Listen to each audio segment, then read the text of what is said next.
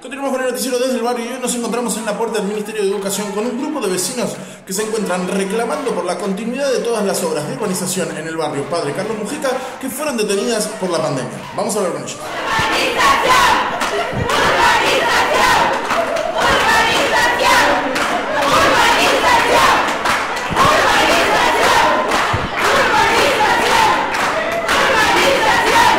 Nosotros eh, venimos acá a exigir ¿no? y que el gobierno siga cumpliendo los trabajos para hacer en el barrio. Es muy necesario que se realice el agua, la luz, las calles, terminar todo lo que corresponde acá en el sector de, de la Villa 31. Estamos acá los vecinos concentrados para poder exigir que se continúe con los trabajos de la, de urbanización de la Villa 31. Yo pienso que estamos en una pandemia pero también estamos con muchos problemas dentro del barrio en la cual se tiene que seguir trabajando, se tiene que seguir haciendo muchas cosas para seguir mejorando la calidad de todos los vecinos que estamos viviendo hoy. Lo que venimos a pedir nosotros acá, acá somos nosotros los vecinos.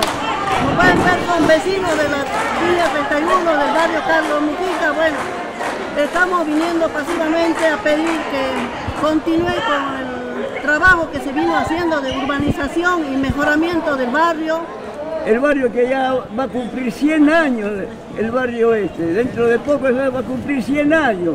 Y todavía no terminamos de arreglar las calles, sino yo creo que ahora eh, venimos a exigir que el gobierno cumpla con la ley, cumpla con la, eh, con la 343, que dice urbanizar el barrio. La urbanización tiene que seguir trabajándose y se tiene que seguir discutiendo para generar mejor calidad de vida para el vecino.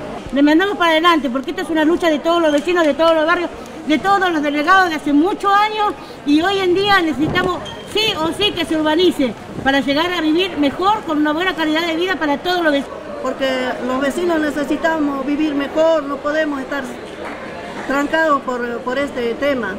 Tenemos que continuar con todo el trabajo que se hizo de urbanización. Porque yo creo que lo primero que se tiene que haber hecho en Revolución, este barrio por su historia, su trabajo y todo lo que ocurrió por todos esos compañeros que murieron en los 70 del padre Mujica, lo mataron porque querían cumplir acá esta urbanización. Entonces tratemos de cumplir con esos deseos de tanta gente que dio la vida por el barrio.